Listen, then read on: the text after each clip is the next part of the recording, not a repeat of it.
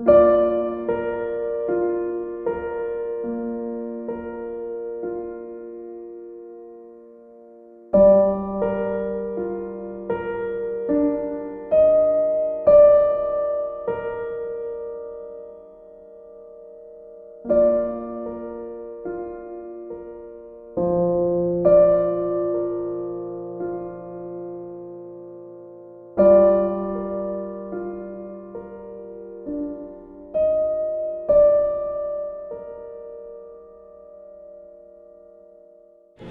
not have expected that I, I, I, I I, who am barely out of savagery, would have to remind gentlemen with 5,000 years of recorded civilization behind them, of our Bill of Rights. When my husband and I moved to Juneau, We started a home in a nice neighborhood where children could play happily with our neighbors' children. and we found such a house and had arranged to lease it.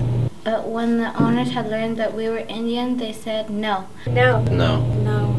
But no, No. Would we be compelled to live in the slums? Even now, there are doors to schools closed to our children. and signs that make it quite clear that I, as well as dogs. are not allowed in certain establishments, many of the hotels and restaurants turn us away. Well, discrimination Discrimination. Discrimination. Discrimination. Discrimination discrimination occurs in many ways, let me assure you.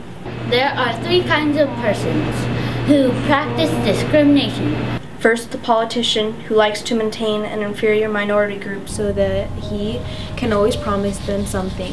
Second, well, the Mr. and Mrs. Jones, who aren't quite sure of their social position and And so are kind to you on one occasion, and can't see you on the next depending on who they are with. third, the great Superman who believes in the superiority of the white race.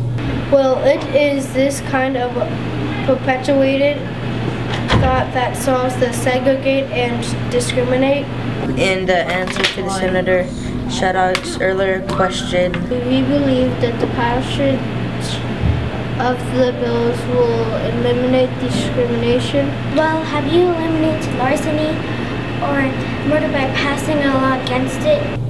No law will eliminate crime. But at least you, as legislators, can assert the world that you recognize the evil of this present situation. and speak your intent to help us overcome discrimination for all Alaskans. For all Alaskans. For all Alaskans. For all Alaskans. For all Alaskans. For all Alaskans. for all Alaskans. For all Alaskans.